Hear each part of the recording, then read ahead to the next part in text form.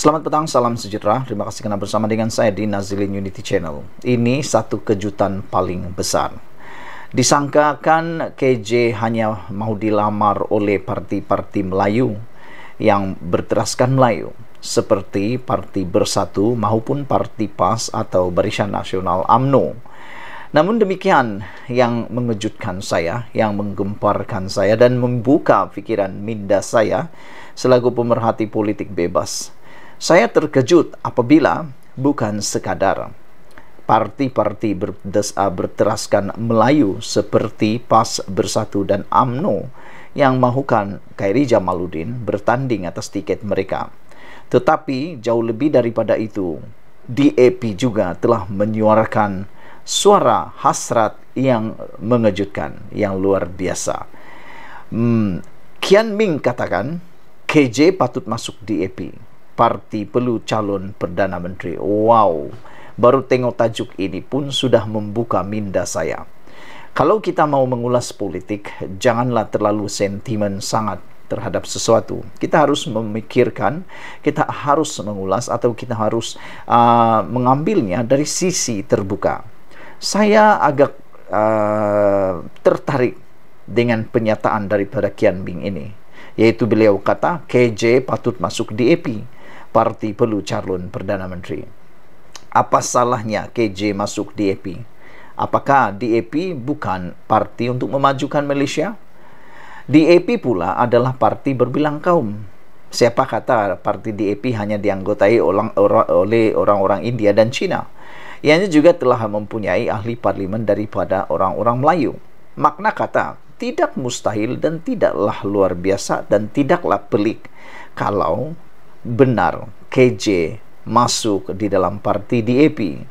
Selain itu, kita pun tahu dalam parti DAP, kekurangan kepimpinan orang Melayu dalam parti itu sangat menonjol.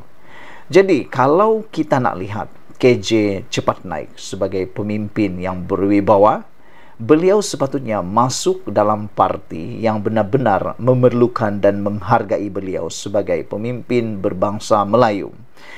Apabila KJ masuk dalam parti-parti yang lain seperti Bersatu, amat ramai perlu uh, pesaing KJ di parti Bersatu. Dalam parti Bersatu terlalu ramai senior yang berbangsa Melayu yang mungkin tidak dapat diatasi oleh Khairi Jamaluddin untuk masa depan politik beliau.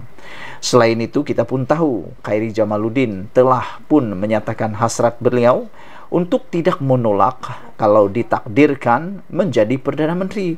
Beliau memang berminat untuk jadi Perdana Menteri. Malangnya kalau beliau menyertai parti PAS dan parti Bersatu atau parti Bersatu amat jauh sekali peluang Khairi Jamaluddin untuk menjadi Perdana Menteri. Kerana kita tak boleh nafikan dalam parti Bersatu, dalam parti PAS maupun parti PKR sendiri sudah ada pemimpin-pemimpin generasi muda berbangsa Melayu yang memang amat uh, luar biasa dan memang amat berkaliber. Namun, ada satu parti ini yang masih memerlukan kepimpinan muda berbangsa Melayu yang memang berpotensi, yaitu DAP.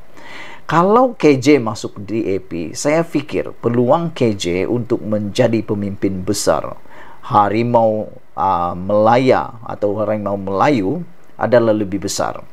Selain itu, peluang KJ untuk menjadi Perdana Menteri lebih bersinar uh, cerah di parti DAP berbanding parti-parti yang lain. Bekas pemimpin AMNO yang dipecat Khairi Jamaluddin dan Sahrir Hamdan patut menyertai DAP kata Ong Kian Eming. Saya agak tertarik Bahkan kalau anda tanya, saya memang setuju. Kalau Khairi Jamaluddin dan Sahrir Hamdan ini menyertai DAP.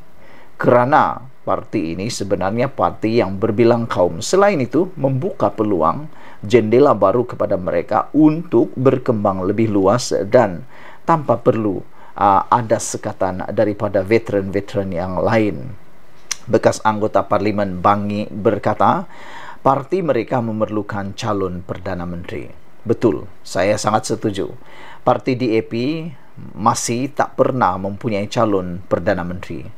Tapi kalau KJ, Khairi Jamaluddin atau Sahrir Hamdan menyertai parti DAP, sudah tentu DAP akan lebih menyengat dan lebih luar biasa. Kamu berdua sesuai, kata Ong semasa sesi soal jawab yang disiarkan melalui YouTube tengah hari ini. Dia berkata demikian ketika menjawab soalan Khairi sama ada dia patut menyertai DAP. Wah, ini soalan Khairi sendiri kepada jawaban itu kemudian disambut dengan ketawa oleh Sahrir. Saudara-saudara sekalian, soalan ini memang menarik kerana KJ sendiri bertanya kepada uh, Ong Kian Ming.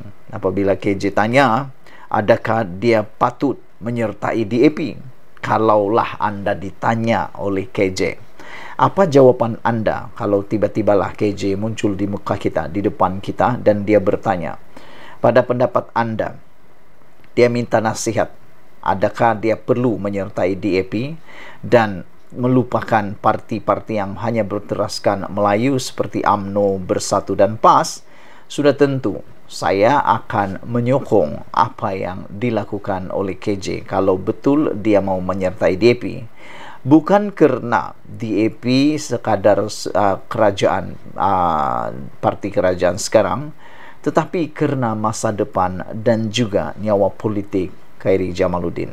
Saya sangat yakin kalau Khairi bertanding dalam tiket DAP di Selangor 80 hingga 90% Khairi Jamaluddin akan menang.